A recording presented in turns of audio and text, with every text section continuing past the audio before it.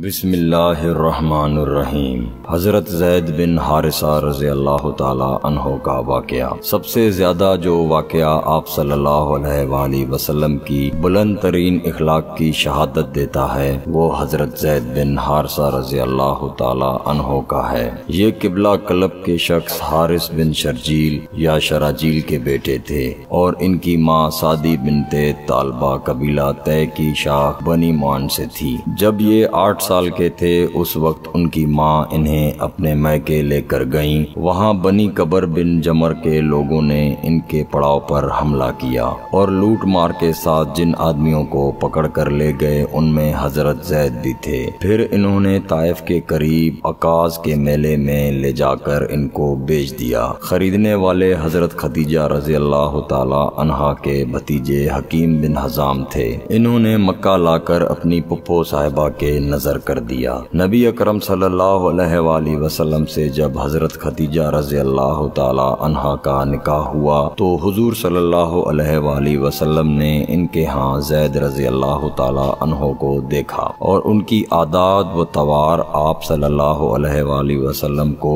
اس قدر پسند آئیں کہ آپ صلی اللہ علیہ وآلہ وسلم نے انہیں حضرت خدیجہ رضی اللہ تعالی عنہا سے مانگ لیا۔ اس طرح یہ خوش قسمت لڑکا اس خیر الخلائق ہستی کی خدمت میں پہنچ گیا، جسے چند سال بعد اللہ تعالی نبی بنانے والا تھا۔ اس وقت زید رضی اللہ تعالیٰ عنہ کی عمر پندرہ سال تھی۔ کچھ مدت کے بعد ان کے باپ اور چچا کو پتا چلا کہ ہمارا بچہ مکہ میں ہے اور انہیں تلاش کرتے ہوئے نبی صلی اللہ علیہ وآلہ وسلم تک پہنچے اور عرض کیا کہ آپ صلی اللہ علیہ وآلہ وسلم جو فدیہ چاہیں ہم دینے کو تیار ہیں، آپ ہمارا بچہ ہمیں دے دیں۔ حضور صلی اللہ علیہ وآلہ وسلم نے فرمایا، میں لڑکے کو بلاتا ہوں، اس کی مرضی پر چھوڑے دیتا ہوں کہ وہ تمہارے پاس جانا چاہتا ہے یا میرے پاس رہ رہنا پسند کرتا ہے۔ اگر وہ تمہارے پاس جانا چاہتا ہے تو میں کوئی فدیہ نہ لوں گا اور اسے یوں ہی چھوڑ دوں گا۔ لیکن اگر وہ میرے پاس رہنا چاہے تو میں ایسا آدمی نہیں ہوں کہ جو شخص میرے پاس رہنا چاہتا ہو، اسے خواہ مخواہ نکال دوں۔ انہوں نے کہا، یہ تو آپ نے انصاف سے بھی بڑھ کر درست بات فرمائی ہے۔ آپ بچے کو بلا کر پوچھ لیجیے۔ حضور صلی اللہ علیہ وآلہ وسلم نے زید رضی اللہ تعالی عنہ کو بلایا اور ان سے کہا ان دونوں کو جانتے ہو۔ انہوں نے عرض کیا جی ہاں یہ میرے والد ہیں اور یہ میرے چچا۔ آپ صلی اللہ علیہ وآلہ وسلم نے فرمایا اچھا تم ان کو بھی جانتے ہو اور مجھے بھی۔ اب تمہیں پوری آزادی ہے۔ چاہو تو ان کے ساتھ چلے جاؤ، اگر چاہو تو میرے ساتھ رہو۔ انہوں نے جواب دیا، میں آپ صلی اللہ علیہ وآلہ وسلم کو چھوڑ کر کسی کے پاس نہیں جا سکتا۔ ان کے باپ اور چچا نے کہا، زید، کیا تو آزادی پر غلامی کو ترجیح دیتا ہے؟ اور اپنے ماں باپ اور خاندان کو چھوڑ کر غیروں کے پاس رہنا چاہتا ہے۔ انہوں نے کہا، میں نے ان کے اوصاف دیکھے ہیں۔ ان کا تجربہ لینے کے بعد میں دنیا میں کسی کو بھی ان پر ترجیح نہیں دے سکتا۔ زید رضی اللہ تعالی عنہ کا یہ جواب سن کر